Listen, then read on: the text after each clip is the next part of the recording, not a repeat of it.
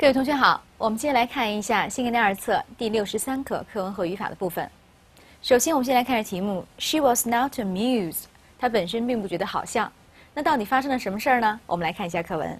好，请大家来看一下课文的第一句话：Jeremy Hampton has a large circle of friends and very popular at parties。请大家首先画上 has a large circle of friends，有一大圈的朋友。我们在单词表当中给大家讲过了。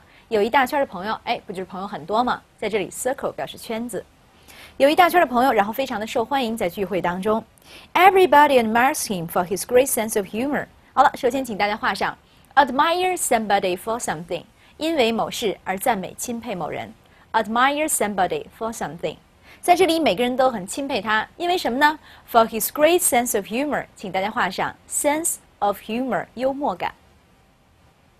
Sense 表示意思是感觉，humor 表示幽默，合在一起，sense of humor，of 来倒着翻译就变成了幽默的感觉，简称幽默感。每个人都很钦佩他，因为他有非常好的幽默感。好了，接着往下说，everybody that is，请大家把这个 that is 圈起来，大家会发现很明显，在这里 that is 前面一个逗号，后面一个逗号，把它隔在中间，因此呢，这个中间的部分大家会发现是后插进来的。它把这个句子造成了分裂，因此中间这一部分 that is 就叫做插入语，它是后插进来的。那这个插入语是干嘛的呢？它就表示进一步的解释说明。它解释说明了一下每个人到底指的是谁呢？哎，那也就是说 that is，那也就是说谁呢？Except his six-year-old daughter Jenny，除了他六岁大的女儿。所以请大家把这里面这个 that is 圈起来，它做的是插入语，表示进一步的解释说明。那也就是什么什么。每个人，那也就是什么呢？Except his six-year-old daughter Jenny，请大家稍微注意一下这个小词 six-year-old。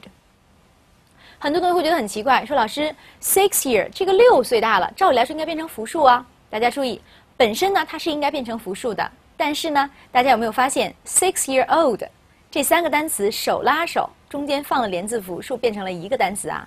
大家会发现手拉手就变成了一家人，因此呢，算作为一个整体就不需要变成复数了。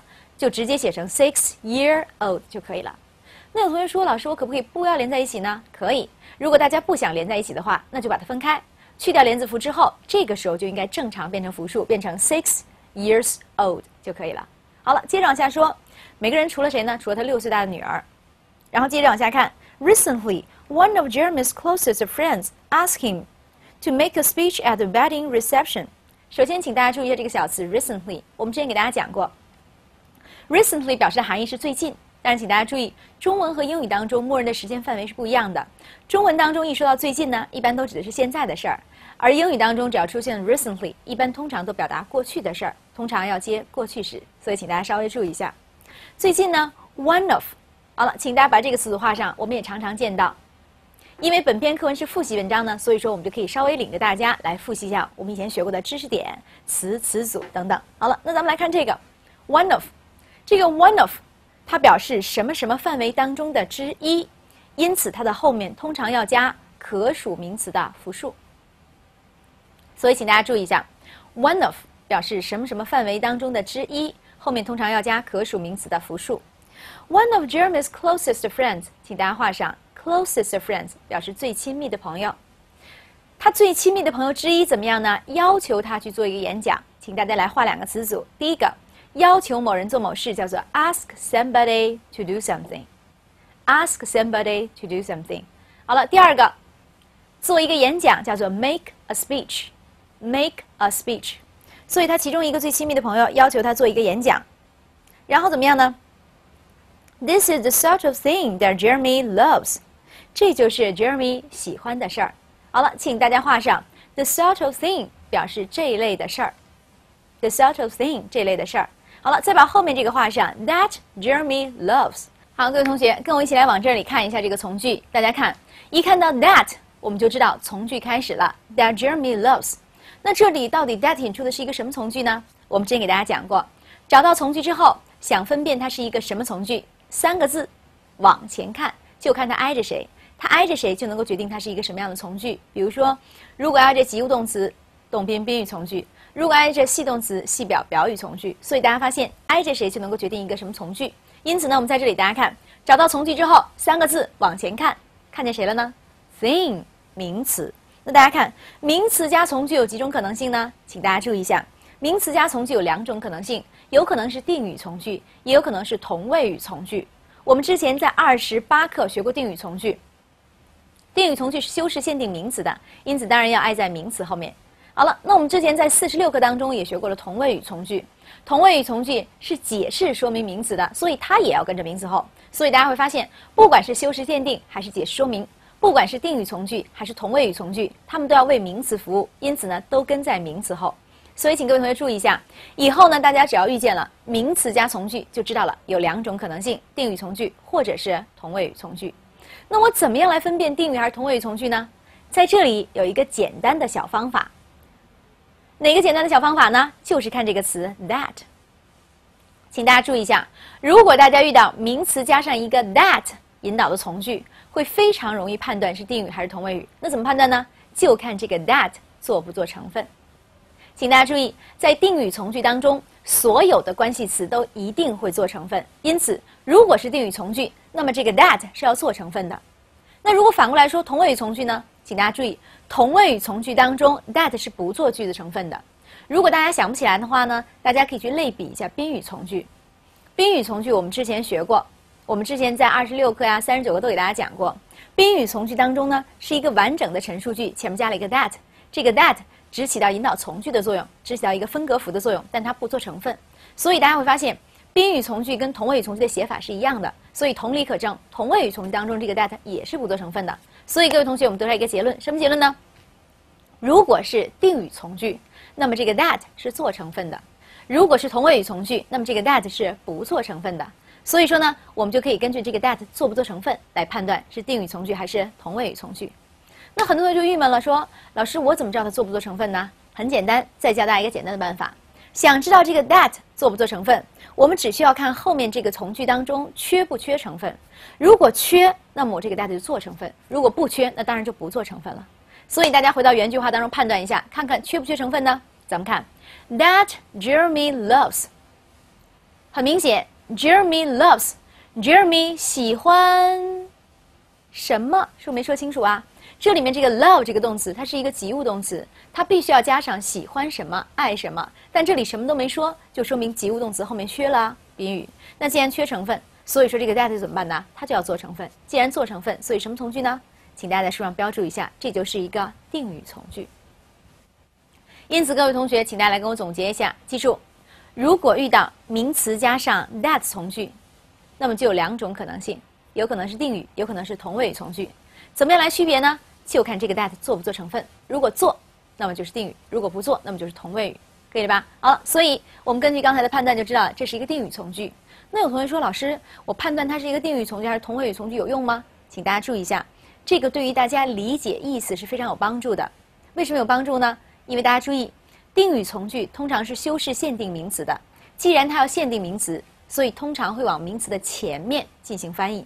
那大家发现，如果是定语从句往前一翻译，这个时候改变了整个句子的语序，改变了语序就会影响大家对于中文的理解。比如说，我们就以这句话为例，这是一个定语从句，所以就要往名词前面翻译。那怎么翻译呢？This is the sort of thing，这就是那类的事儿。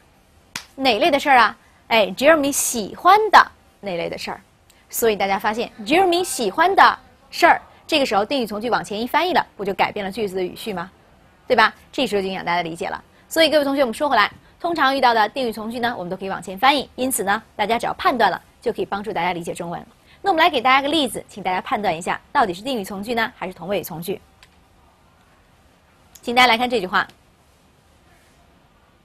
We have no idea that the bus has come. We have no idea that the bus has come. 好了，那请大家注意一下，在这句话当中呢，首先大家会看到，很明显，that 引出了从句，三个字往前一看，看见了 idea 名词，正好符合我们的要求，名词加上 that 从句，哎，这个时候就有两种可能性，有可能是定语，有可能是同位语。那到底是哪种呢？就看 that 做不做成分。那做不做呢？咱们往后观察，The boss has come，老板来了。那这个老板来了这句话当中，缺成分吗？不缺呀，老板来了有主有谓，已经把这事儿说完整了。所以由于后面句子当中不缺成分，因此这个 that 怎么样？它不做成分。既然不做成分，所以说什么从句呢？同位语从句就不用往前翻译了。好了，再来看一个例子。It is the most interesting movie that I have ever seen. It is the most interesting movie that I have ever seen. 那请大家来看一下，这里面很明显也是一个 that 引出的从句，跟在名词 movie 的后面。那大家判断吧，名词加 that 从句有几种可能性？两种，定语同位语。那到底是哪种从句呢？咱们去看 that 做不做成分？那做不做呢？判断一下，I have ever seen，我曾经看见什么呀？在这里及物动词看见后面很明显缺了成分。那既然缺了成分，那谁来做呢？that 来做。那既然 that 做成分，所以是什么从句呢？定语从句。那我们再接着往下说，定语从句要往哪翻译呢？往前。所以应该怎么翻译啊？这就是最有趣的电影。什么样最有趣的电影呢？我曾经看过的最有趣的电影。好了，所以各位同学会发现，其实分析句子的时候呢，就是一个标准化流程生产线作业。我们一个一个环节的往下看下去。比如说，首先判断名词加 that 从句，然后再看 that 做不做成分，然后再看要不要往前翻译。所以大家发现，按照一个标准的流程，就可以帮助大家解决从句的判断问题。好了，关于这个句子，我们就说这么多。我们稍后遇到呢，再领大家来进行复习。我们接着往下看。这就是 Jeremy 喜欢的事情。然后怎么样呢？He prepared speech carefully。他仔细的准备了演讲，and went to the wedding with Jenny，和他女儿一块儿去的这个婚礼。He had included a large number of funny stories in the speech, and of course it was a great success。好了，请大家注意一下这句话，它包含了大量好笑的事儿在这个演讲当中。当然，这是一次巨大的成功。好了，请大家注意一下这个单词 include。include 表示动词包括、包含。其实呢，它有个同义词叫做 contain。 很多时候大家发现没有，我们在查字典的时候，经常会遇到这样的疑惑：什么疑惑呢？就是查到两个单词都可以表示同样的意思，那怎么样进行区别呢？很多时候我们会发现，从中文的角度没有办法区别，因为大家一查，include 表示包括包含，contain 也表示包括包含，那怎么样区别呀？大家注意，这个时候呢，我们就不能从中文的角度入手了，我们需要换一个角度，从英语的方面来出发。那怎么样来出发呢？有些时候想判断一个词它的含义，我们可以从它的衍生词、派生词当中来进行理解。比如说，contain 有一个派生词叫做 container，container 加上了 er 之后，在这里表示容器，装东西的容器。那大家想，既然 container 作为名词表示装东西的容器，因此我们就可以推理出来，contain 这个词表示包括、包含。它通常表示的是能够实实在在的装进容器里面的包含，就叫做 contain。比如说，我们来给大家举个例子，哎，这个包里包括了五本书，哎，两个本儿。大家发现这个包里包括了五本书和两个本儿，那大家会发现这个包里包括了这些东西，能不能实实在在的装进容器里面去啊？可以啊，包就是一种容器，这也是我实实在在装进去了，就可以叫做 contain。好了，再比如说，我们在二十四课曾经学过，这个人丢钱了，他就去宾馆经理的房间抱怨。结果正抱怨呢，一个女孩进来了，拿着个信封放在桌上。这个信封里包括了五十五十英镑。那大家看，这个信封里包含了五十英镑，能不能用 contain 呢？首先大家想，信封里有钱，是不是能够实实在在的装进容器里面去啊？因为信封就是一种容器啊，所以能实实在在的装进去的就可以用什么呀？contain。因此，他用的是这样的一句话，叫做 It contained fifty pounds。好了，所以各位同学，大家会发现，通过它的派生词 container 容器，我们就可以推测出来，contain 作为动词表示能够实实在在装进容器里面的包含。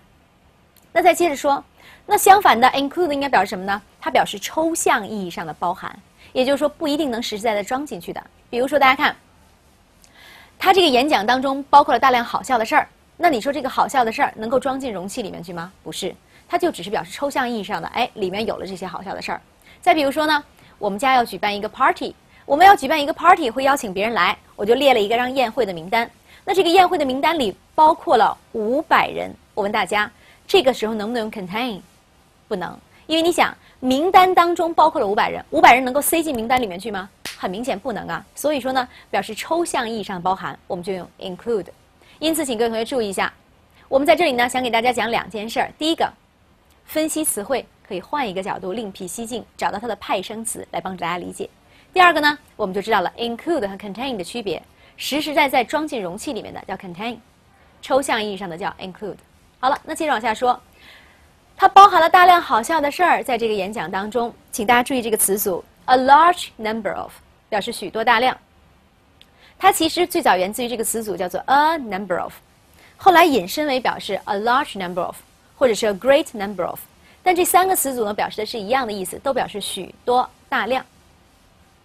以后呢，我们大家在使用的时候呢，就可以尽量替换一下。比如说，我们以前都喜欢使用什么呢？像 many、much、a lot of。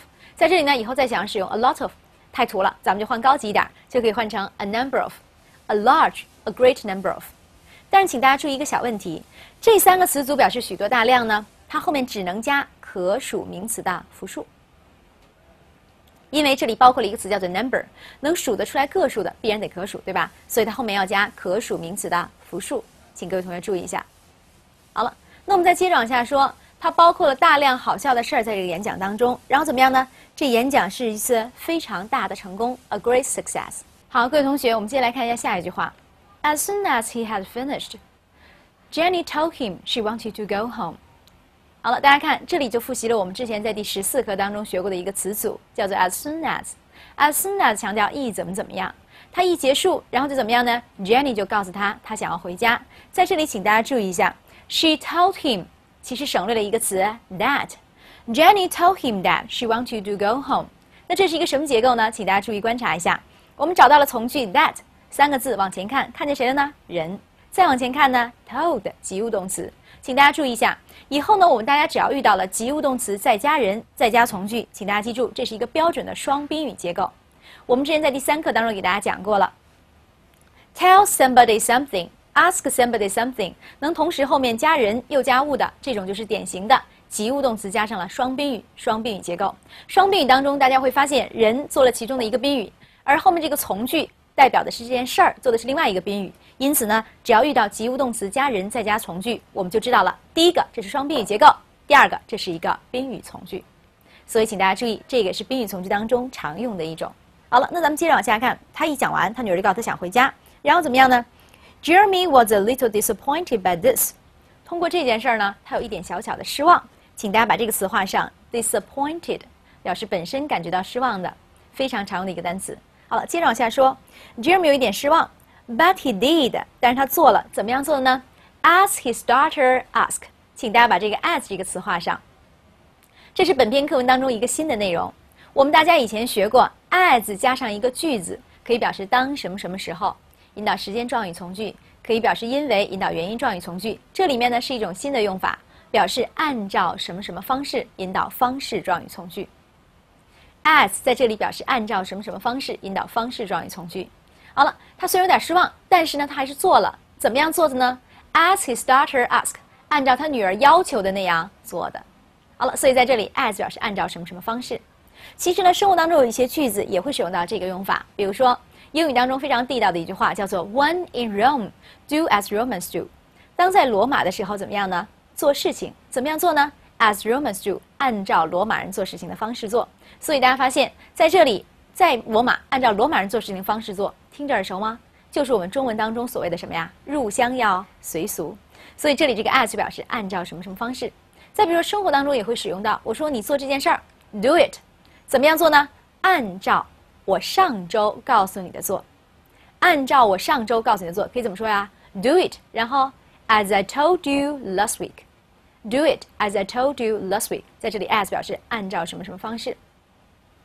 好了，那请大家注意一下，我们在稍后第四单元的时候呢，会帮助来大家来进行总结。其实 as 后面加上一个句子，在我们整个新概念二词当中，一共出现了四种用法，其中呢有两种是特别常用的。所以呢，我们稍微给大家总结完之后呢，大家就比较清楚了。好了，大家先别着急，先在这里了解一下 as 引导方式状语从句。接着往下看，他做了按照他女儿要求的做的，然后怎么样呢？On the way home，在回家的路上，he asked Jenny if she had enjoyed the speech。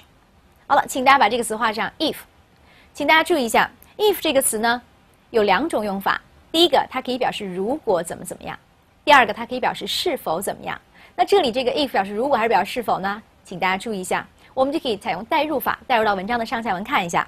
他问了 Jenny，如果他享受了，还是是否他享受这个演讲呢？应该翻译成什么呀？是否？好了，那这里这个 if 翻译成是否，那大家看，引出一个从句，什么从句呀？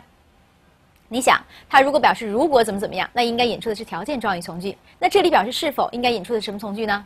我们都知道，想要判断从句，三个字往哪看？往前看，看它挨着谁啊 if 前面是 Jenny 是一个人，再往前看呢，ask 那大家看，这就是我们刚才讲过的吧？ask somebody something，ask 及物动词先加了人，再加了从句，典型的什么结构？双宾语结构，所以是什么从句呢？宾语从句。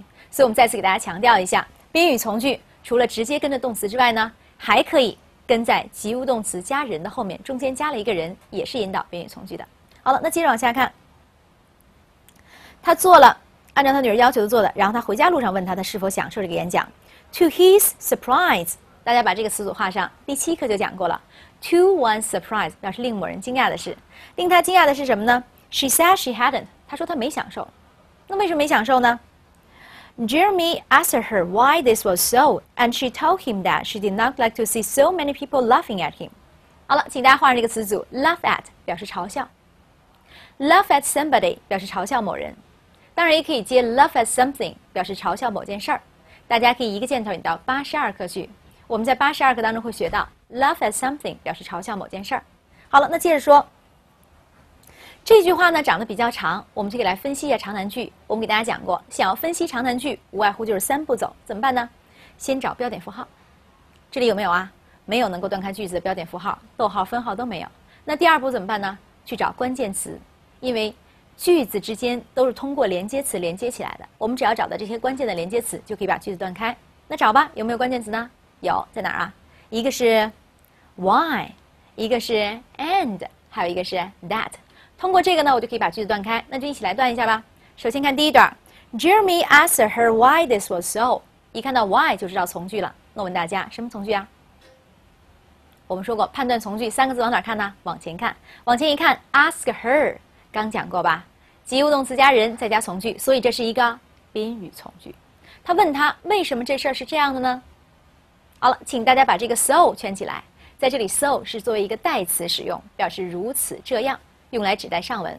为什么这事儿是这样的呢？哪样的呢？就是说他女儿没享受这个演讲嘛。好了，接着往下看，为什么这事儿这样呢？And 并列连词，并列另外一件事儿。She told him that，大家看有从句了，三个字往前看也是什么呀？及物动词加人再加从句，所以也是什么呀？宾语从句。请大家注意一下，在这里反复重复的出现了相同的结构，就是为了一再的告诉大家，只要大家见到及物动词加人再加从句，我们就知道了这是一个宾语从句。好了，那咱们接着往下看，他告诉他怎么样呢？他没。不愿意看见这么多人，这么多人干嘛呢？嘲笑他爸爸，laugh at him。好了，在这里呢，还包括一个小词组，看见某人正在做某事，see somebody doing something。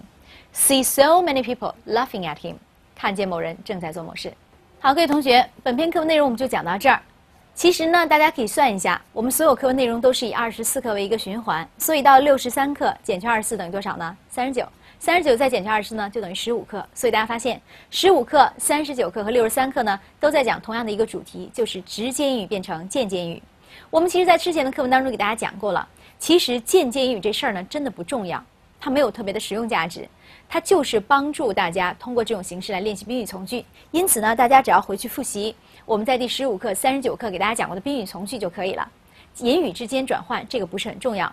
如果大家想要了解的话呢，大家可以去看一下二百八十九页书后的这个关键句型当中，给大家复习了一下言语的转换，而且还讲了新的一种，就是如何把一个省略了主语的祈使句变成间接语。其实呢，我们再说回来，这个大家只要简单了解，看一眼就可以了，我们就不做重点掌握了。由于宾语从句重点，所以我们在稍后的拓展环节当中呢，来带着大家重新复习一下宾语从句，尤其是宾语从句的位置。比如说我们今天课文当中讲过的双宾语结构，就是宾语从句当中特别长的一种位置。所以还是那句话，大家记住，学习英语呢，我们只要抓住主要矛盾，我们只讲有用的，大家只要把最核心的部分掌握清楚就可以了。好了，非常感谢大家的耐心聆听，我们稍后拓展环节见，谢谢大家。